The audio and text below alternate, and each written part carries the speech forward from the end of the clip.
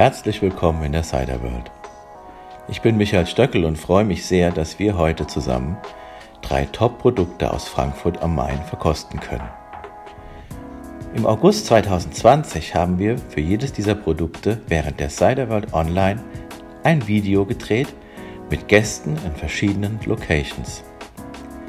Im ersten Video verkosten wir zusammen mit Frank Winkler im Lorsbacher Tal den roten Adam Selektion Altes Land, einen roséfarbenen Apfelwein, der aus rotfleischigen Äpfeln gekeltert wurde.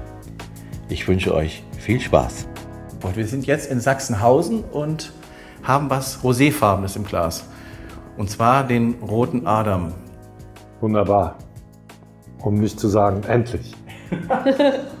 ähm, ja, ich würde sagen, mein Freund Harald macht einen wunderbaren Rosé-Apfelwein. Den macht er aus rotfleischigen Äpfeln. Das ist ja etwas, was viele gar nicht wissen. Es gibt Apfelsorten, die, wenn man die in der Mitte durchschneidet, haben die rotes Fleisch. Ähm, und die meisten Rosés, die man so bekommt als Apfelwein, sind gefärbt, also gefärbt im Sinne, sie sind mit Johannisbeersaft rot gefärbt oder mit anderen roten Beeren. Mhm. Und sie sind auch oft, um es mal hessisch zu sagen, ein bisschen babbisch. Ja? ja. Ähm, weil da auch äh, sehr viel Süße mit dabei ist. Und das hier ist halt ein wirklich echter Rosé aus rotfleischigen Äpfeln. In dem Fall sind das Äpfel, die heißen Vai Rouge und die kommen hier aus dem alten Land in der Nähe von Hamburg. Altes Land, eine Apfelregion, wo man eigentlich mehr Tafelobst herbekommt als ja. Apfelweine. Ja, und unser Freund Harald hat sich irgendwann auf die Suche begeben und hat äh, jetzt offensichtlich das Monopol für sämtliche rotfleischigen Apfelanbauten in äh, Deutschland. Auf jeden Fall macht er immer eine Tour und fährt dann ins alte Land und im Kaiserstuhl und an anderen Stellen auch noch und äh, kauft dort alles, was nicht nied- und nagelfest ist, an rotfleischigen Äpfeln und macht daraus diesen fantastischen, Sieht wunderbaren Rosé. Ein, schöner Rosé. Ich muss den jetzt probieren. Ja. Also Manufaktur Apfeltrauben nennt er sein Unternehmen, Harald Nolte. Und das ist der rote Adam. Ja, da kann man mal sehen, was man auf seine alten Tage, wenn man Rechtsanwalt und Notar war, anstelle von Papa Ante Portas auch noch machen kann. Man kann nämlich tollen Apfelwein machen und viele Menschen damit froh gestimmen. Ja? Und das ist ein wunderbares Tröpfchen. Ja, man sieht hier so ein ganz zartes Lachsfarben im Glas. Das ist wahrscheinlich auch nicht mehr möglich, weil die Farbpigmente in den Äpfeln, auch wenn sie rot sind ja. im Fleisch, nicht so zahlreich sind wie jetzt bei dunkel, dunklen Beeren, also bei äh, Trauben. Und man kommt also hier wirklich dieses helle Lachsfarben, was wirklich schön im Glas steht. Und die Nase, die ist wirklich ganz elegant. Sie hat so was Nussiges, Fruchtiges auch. Das ist ein wunderbarer Apfelwein. Ja. Und den schön servieren wir sehr gerne. Ja. Auch zum Beispiel, der geht wunderbar zur grünen Soße. Oh ja. Also nicht nur farblich, sondern auch geschmacklich. Und ähm, also er macht das schön zu, zu rotem Fleisch, geht er auch gut. Ist wunderbar. Also schönes Steak und dann so ein Fläschchen. Ich finde das so ein richtiger Nasenwein. Also ich mag die Nase richtig von dem. Und die Farbe ja, ist einfach sehr, sensationell. Sehr gut ja. und sehr intensiv. Was ganz Elegantes, da wären wir auch wieder beim Thema äh, äh, Verkostungen. Ne? Also sowas könnte man auch mal so heimlich in eine Rosé-Verkostung in Sachen Traubenwein mal reinschmuggeln und mal gucken, was die Sommeliers dazu sagen. Das finde ich immer spannend. Und wenn man nicht genau hinguckt, würde man das ja gar nicht für einen Apfelwein halten. Ne? Das ist einfach von der Ausstattung her einfach edel. Ja. Es ist wie ein Traubenwein. Ist toll gemacht. Toll gemacht. Es ist eine durchgängige Linie. Und wir finden, das ist einfach ein ein tolles Weinchen auch. Ja. Den kann man auch mal so auf der Terrasse trinken, ohne was ja. dazu zu essen. Genau. Oder ein paar kleine Tapas dazu oder wie auch immer. Kleinen Salat. Der Harald Nolte hat ja mit dem Wein, glaube ich, auch einen guten Preis gewonnen. Der hat ja beim Cider World Award den ja. schon eingestellt und ist da gut bewertet worden. Ja. Das alte Land, also die Selektion Altes Land, hat Gold beim Cider World Award ja. gewonnen. Also das ist er auch wert, weil das ist ein wirklich elegantes Tröpfchen. Darauf trinken wir jetzt nochmal. Prost. Prost. Immer wieder schön. Fantastisch. Ich hoffe, der rote Adam hat euch genauso gut geschmeckt wie mir. Jetzt sind wir in der Apfelweinhandlung Jens Becker in Frankfurt am Main, Sachsenhausen. Dort probieren wir zusammen mit Robert Theobald Streuobstwiese 2019, gekeltert von Jens Becker höchstpersönlich. Ich hoffe, er schmeckt euch genauso gut wie der rote Adam. Ganz spannendes Thema, was der Jens hier macht mit der Apfelweinhandlung, in der wir heute auch zu Gast sind. Er hat vor vielen Jahren angefangen, auch seine eigene Linie zu produzieren äh, mit dem Label JB, Jens Becker. Und wir haben hier heute zum Probieren die Streuobstwiese aus dem Jahrgang 2019. Die Streuobstwiese ist eine Cuvée aus zwei verschiedenen Apfelweinen und die ist deshalb so kreiert, dass sie jedes Jahr ähnlich schmecken soll, wie ein, ich vergleiche es mal mit einem Cognac. Wenn Sie einen äh, Cognac nehmen aus einem großen Cognac-Haus, der schmeckt immer jedes Jahr gleich. Das wird halt immer über Cuvées geregelt. Das heißt, es gibt verschiedene Fässer, die so lange miteinander verschnitten werden oder dergestalt miteinander verschnitten werden, dass immer ein ähnlicher Geschmack dabei rauskommt. Nie der gleiche, aber doch immer ein kontinuierlich ähnlicher Geschmack. Und so ist das Prinzip auch bei der Streuobstwiese. Der Jens Becker baut dazu zwei Weine aus. Zum einen eine Goldparmele, die er sortenrein ausbaut, aber nicht durchgären lässt. Das heißt, die hat also Restsüße. Er stoppt die Gärung mit äh, runterkühlen, weil genau. ich weiß. Und äh, das heißt, äh, die Gärung ist gestoppt, die Hefe wird nicht komplett den ganzen Zucker vergären, es bleibt also Restsüße zurück. Auf der anderen Seite produziert er dann in seinem Keller einen Apfelwein aus acht verschiedenen alten Streuobstwiesensorten, ähm, darunter auch einen sogenannten Holzapfel oder Wildling.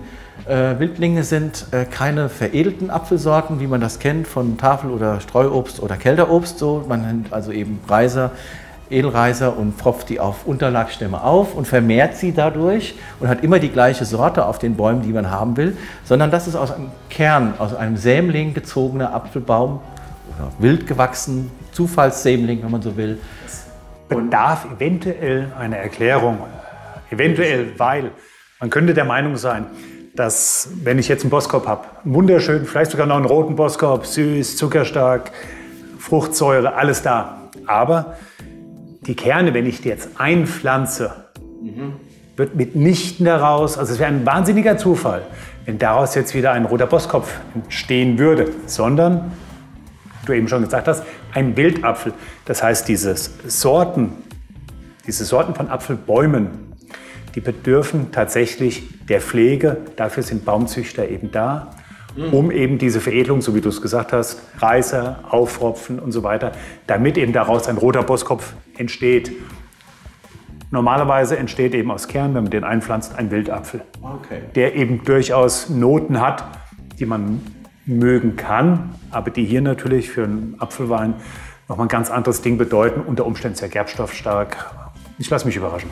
Ja, das ist wahrscheinlich auch die Idee, die dahinter liegt, dass man auf der einen Seite diesen Rest, diese Goldparmene hat der anderen Seite diesen durchgegorenen, klassischen, aus alten Streuobstwiesen und inklusive dieser Wildobstart, Wildapfelart, ähm, so eine Cuvée macht, dass es halt eben immer in einer Balance hinterher in der Flasche ist, die gewollt ist, also die dann auch immer jedes Jahr ähnlich schmeckt. Das heißt, die Goldparmene bringt süße, frische Frucht mit und die andere Cuvée-Hälfte sozusagen oder Anteil bringt eben den Gerbstoff, die äh, Struktur, die Komplexität mit. Und das ist natürlich ein spannendes Verfahren, was wir hier in diesem Produkt haben. Und jetzt wollen wir mal gucken, wie es denn auch schmeckt. Das ist gut, endlich. Gucken oder auch probieren. Erstmal schauen. Erstmal schauen. Und hier auch wieder ganz kurz und prägnant, äh, richtig goldgelb, wie Apfelwein sein muss. Tatsächlich, ja, ist ein Traum. Goldparmene ist drin. Ja. Wenn man das jetzt also jetzt hier optisch dargestellt sieht, ist es wirklich schön. Wobei auch die Goldparmen oftmals dafür sorgt, für, nach meinem Geschmack und nach meiner Erfahrung, für so einen honigartigen Abgang. Honigartig. Goldparmene, kann man noch was zu sagen, äh, ist eigentlich eine Sorte, die aus Frankreich stammt und dort Rende Renette heißt. Die Königin der Renetten. Renetten sind uralte, kleinwüchsige Apfelsorten, die äh, ziemlich in Vergessenheit geraten sind. Gibt es hier kaum noch auf den Märkten, im Supermarkt schon gar nicht leider. Und ähm, man hat sie früher bei Hofe gereicht auf großen Tabletts geschnitten sozusagen und hat sie mit der Hand gegessen und hat das Gold Parmen, also mit der Hand, Parmen, französisch, mit der Hand, hat man die gegessen. Und äh, eigentlich eine Tafelobstsorte. Daher kommt der Name, ist eingedeutscht worden, Gold Parmen. Es gibt kein Wort. Michael, ich bedanke mich. Wieder, ich sag mal, wieder was gelernt. Sehr elegant.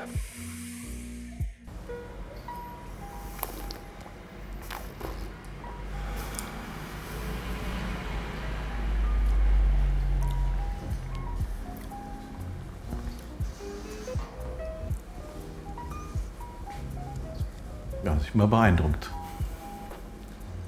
Man kennt ihn ja schon, wenn man den schon ein paar Mal getrunken hat, aber wenn man zum ersten Mal trinkt, denkt man, ey, wow. Er hat letztendlich genau das, wie du es vorher schon beschrieben hast, wie es denn sein könnte. Er hat die Eleganz, die Süße, gerade im Bouquet der Goldpalmene mhm. und hat eben den Körper durch die alten Apfelsorten. Eine unglaublich tolle Balance. Also im Duft wirklich sehr reintönig, ähm, ganz frische, elegante Apfelaromen, was Nussiges auch irgendwie. Dein Einwurf mit Honig hat mich natürlich etwas beeinflusst, aber äh, auch das lässt sich hier irgendwo diese, diese opulente Süße, die irgendwo da entgegenspringt. Dann am Gaumen hat er eine frische, belebende Säure, aber nicht zu stark. Er ist sehr, sehr, sehr eingebunden, die Säure. Und eine unglaublich schöne Länge, die aber erst nach einem Moment kommt. Also nicht direkt äh, da ist diese Gerbstoffnote, sondern erst wenn man ihn länger im Mund hat oder hatte. Genau. Also er ist nicht so dominant. Ja. Der Gerbstoff ist nicht dominant, er legt sich quasi unten das heißt, so im Mund ab. Also das heißt, ganz so vom, vom Empfinden her, man hat erst so ein bisschen Süße auf der Zunge, dann, dann legt sich so langsam die Säure drüber und dann, dann mit einem sehr langen Nachhall einfach die sehr angenehme, astringierende Gerbstoffnote. Also das ist wirklich ein Erlebnis. Ganz wunderbar. Also ist beeindruckend.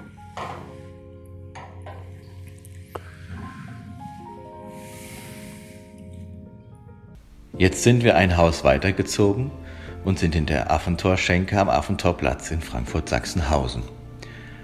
Dort probieren wir zusammen Alexander Nölls fantastischen Pfirsee. Das ist ein Apfelsekko, der mit Weinbergpfirsich veredelt wurde. Ich wünsche euch viel Spaß bei unserem letzten Produkt. Vielen Dank. Aber du hast uns ja heute den Pfirsee mitgebracht. Richtig, ja, genau. Und der, der ist schon so richtig schön zart, äh, lachsfarben im Glas. Erzähl mal was zum Pfirsee. Was ist die Idee, die du da mit diesem Produkt gemacht hast? Ja, auch da wieder eine Weiterentwicklung. Wir haben natürlich unseren klassischen Apfelsekko, unseren Apfelperlwein. Und da war natürlich schon immer die Idee gewesen, wir müssen aus dem Apfelperlwein, da muss man eine Produktvarianz machen, weil der Apfel paart sich unheimlich gut mit verschiedenen Früchten halt auch. Okay. Und dadurch haben wir eine schöne Kombination. Ähm, ich sag, auf dem Markt gibt es natürlich relativ große Vielfalt mittlerweile auch schon in verschiedenen Variationen, auch mit Johannisbeer. Wir haben uns gedacht gehabt, wir müssen das jetzt nicht nachmachen. Wir haben, äh, also aus der Ausbildung heraus, haben wir schon verschiedene Erfahrungen mit, gemacht mit verschiedenen Früchten. Und da war mir der Pfirsich schon immer im Auge gesessen. Jetzt haben wir aber hier nicht den klassischen Pfirsich genommen, sondern wir mhm. haben den roten Weinberg-Pfirsich genommen für die, okay. für die Kombination aus Apfelperlwein. Ähm, hat den Hintergrund, dass der rote Weinberg-Pfirsich nicht die äh, ja nicht so seifig ist und auch nicht zu süß ist, sondern der bringt eher eine Herbe mit und er bringt die wunderschöne rote Farbe mit. Das ist toll. Da erinnere ich mich ganz dunkel an die 80er, 90er Jahre, wo ich angefangen habe mit Gastronomie. Da gab es äh, damals ein Trendprodukt, das hieß dann Kir Péché. Kir Péché. Also mit einem, äh, ich hoffe, dass ich es richtig ausgesprochen habe. Ihr werdet mich wahrscheinlich dann korrigieren, wenn es das nicht ist. Ähm, Kir ist ja, oder Kir Royal kennt man ja, das ist Champagner mit Creme de Cassis, also schwarzem Johannisbeerlikör äh, versetzt oder aufgefüllt. Und da ist ein Weinbergspfirsichlikör drin. Könnte man das, die Idee da so das kann man, vermengen? Aber ist ja kein Likör. Sondern nee, ist kein Likör. Wenn wir jetzt ein Likör reingemacht hätten, wäre das äh, äh, ja schwierig zu verkaufen, weil man eigentlich in, in Getränke keinen hoch, hochprozentigen Alkohol einfach reinschütten kann, das einfach so verkaufen kann. Ja. Deswegen haben wir auch einfach den Saft genommen, das Weinberg Pfirsich. Und äh, wenn wir jetzt auch ein Likör genommen hätten, dann wäre das wieder so hochprozentig und das wäre nicht so ein leichtes, schönes, lockeres Sommergetränk, was man einfach schön auf der Terrasse trinken kann. Ähm, das soll es eigentlich auch sein. Schön, leicht, locker, fruchtig. Nicht zu süß. Wir sind zwar halbtrocken, steht zwar unten drauf. Allerdings sind wir an der untersten Grenze des Halbtrocknens, so dass wir ein schönes Zucker-Säure-Verhältnis im, im, äh, im Produkt haben. Wir sollten das jetzt probieren, weil die haben bestimmt schon alle die Gläser leer. Ja. Solange wie wir jetzt darüber philosophieren. Wahrscheinlich, genau. Dann lasst es euch schmecken und sagt mal, was ihr denkt.